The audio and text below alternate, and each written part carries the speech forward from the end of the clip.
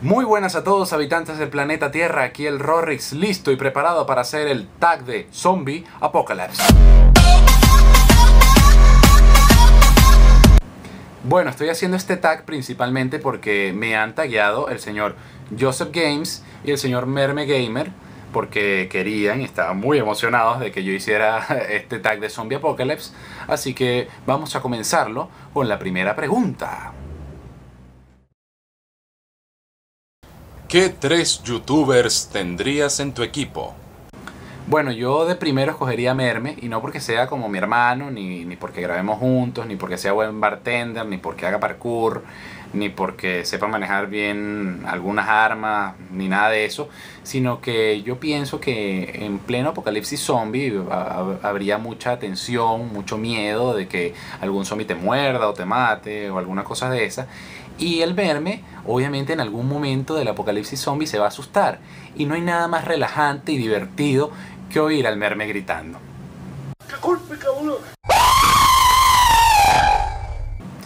Es que es un grito muy, muy femenino, es una cosa que da demasiada risa y yo creo que eso aliviaría un poco la tensión de que estamos en pleno apocalipsis zombie.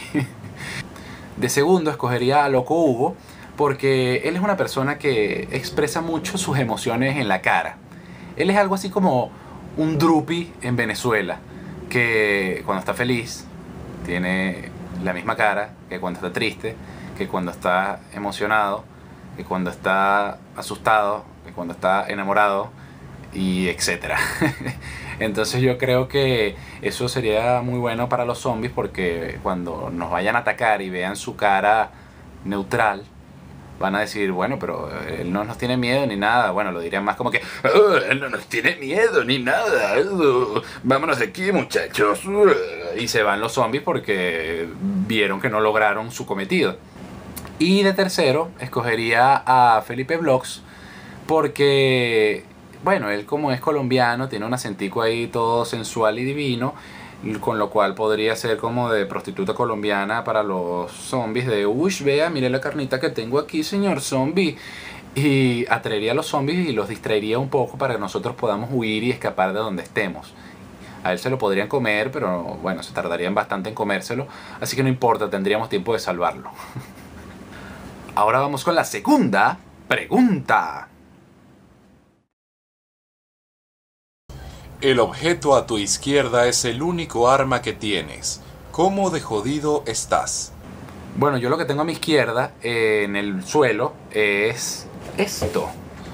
Mi bolso de la universidad, mi bulto, mi morral, como le digan en su país, de la universidad. Y yo creo que no estaría tan jodido porque en algún momento que tengamos que huir de los zombies, yo lo que haría es ponerme el bolso aquí y empujarlos a todos así. Y, creo que eso funcionaría mucho para cuando tengamos que hacer una huida rápida y tengamos que eh, quitar muchos zombies del camino.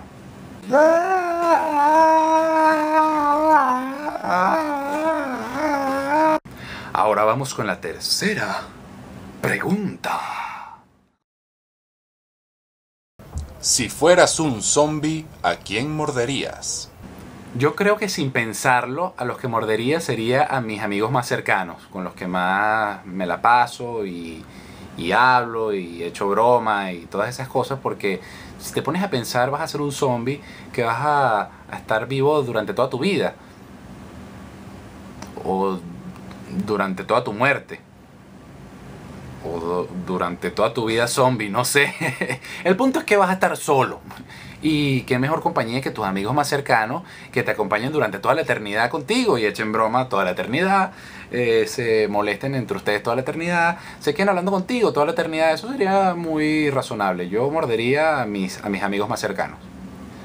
Ahora vamos con la cuarta pregunta. ¿Cuál sería tu plan de supervivencia? A mi parecer yo creo que lo más lógico sería estar en la punta del Salto Ángel, que para los que no sepan qué es el Salto Ángel, es la cascada natural más alta del mundo y se encuentra aquí en Venezuela, que mide aproximadamente, creo, no estoy muy seguro, eh, unos mil metros, no estoy seguro la verdad. Yo creo que eso sería muy lógico porque obviamente estás en la punta de una cascada y si los zombies vienen, los tumbas Y si no se mueren por la caída o no se mueren ahogados, bueno, les va a costar bastante volver a subir y, y te da tiempo de pensar otra cosa inteligente. Quinta pregunta. Si tus padres se volvieran zombies, ¿qué harías? Bueno, yo lo que haría es meter a mi madre en el congelador de la nevera, o aquí en Venezuela le decimos freezer, a la parte que congela del refrigerador, que creo que esa palabra es más universal para los latinos. Y bueno, solo sería mi madre porque mi mamá es mi, mi mamá y mi papá. Entonces la metería en el congelador y sería muy útil porque así no se descompondría y también me haría mi comida, porque obviamente va a estar dentro del refrigerador donde está toda la comida y lo único que tengo que hacer es ir, la, la, la, la, la, abro el congelador, mamá, ¿qué hay para comer? Y ella me va a decir, "Oh, pollo empanizado, toma hijo. Y yo, ay, gracias mamá, y la vuelvo a encerrar para que siga ahí y no se pudra. Y yo me voy a hacer mi pollo, lo meto en el microondas del horno y, y listo. Última pregunta. ¿Quieres que ocurra el apocalipsis zombie? A mí no me gustaría que ocurriera el apocalipsis zombie porque ya aquí en Venezuela eh, estamos viviendo un apocalipsis. No sé si es zombie o no. Patria, socialismo o cerebros. Pero de que es un apocalipsis es un apocalipsis porque estamos viviendo muchas cosas malas en, estos tiempos. Así que esto no se lo desearía a nadie, ni siquiera a mi peor enemigo. Y mi respuesta sería no, no quiero un apocalipsis zombie. Y bueno, esas han sido todas las preguntas, espero que les haya gustado y ahora me toca taguear a tres youtubers para que también hagan el zombie apocalypse. Voy a taguear a dos venezolanos y voy a ser un poco internacional y taguearé a uno de México para que no digan, oh Nada más quieres taguear a gente de Venezuela porque no te gustan los otros países y nos odias. Y no, no es así. Así que de primero voy a taguear a la señorita Arichuna y su canal Big Banana de Venezuela. De segundo voy a taguear al señor Rastagu y su canal Así fue Show de Venezuela. Y este es un poco particular, el Internacional de México, porque son tres youtubers con un canal. O creo que es un solo canal en el que lo van a hacer. Que son Leslie, Ana Karen y Rafael de el canal Los Polinesios. O Plática Polinesia o Extra Polinesio o cualquiera de sus 24.783,14 canales porque tienen demasiado. Pero sé que en algunos de ellos lo harán porque los, los estoy tagueando, ojo, a los tres y también a mis compañeros youtubers venezolanos.